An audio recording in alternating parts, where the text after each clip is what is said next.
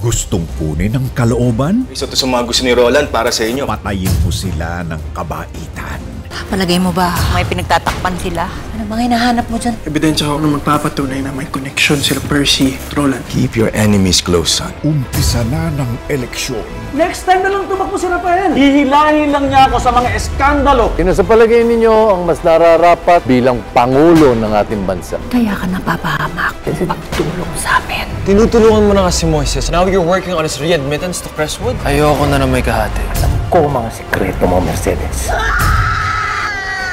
May bago tayong makikilala. Gawin na natin to. Tapusin mo na agad.